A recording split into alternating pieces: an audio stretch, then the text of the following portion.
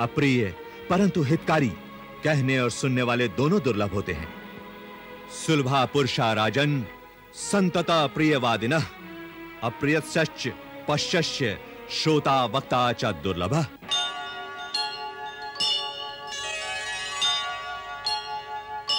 जहाँ रावण तुम्हें ले जा रहा है उस स्थान का पता उन्हें कौन बताएगा?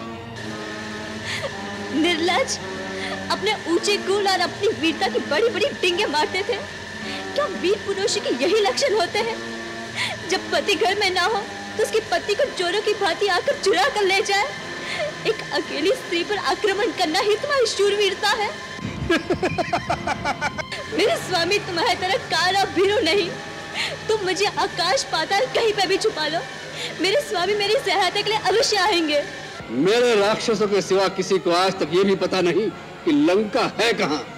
वहाँ पहुँचने से पहले तेरा पति रास्ते में भटक भटक कर मर जाएगा। जिस प्रकार एक सांप की आँखें अंधेरे में भी दिखाई देती है उसी प्रकार पापी का पाप छुपाने से नहीं छिपता।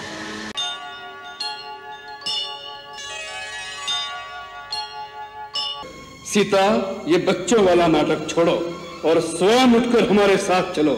अन्यथा तुम्हारे बाल पकड़कर हम तुम्हें घसीटते हुए ले जाएँगे।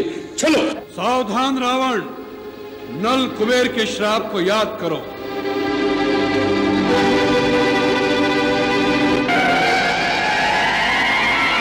तूने मेरी धर्म पत्नी के साथ बलात्कार किया है। मैं श्राप देता हूँ, यदि तूने किसी पर स्त्री के साथ उसकी इच्छा के विरुद्ध उसका शील भंग किया तो तेरे सर के साथ टुकड़े हो जाएँगे।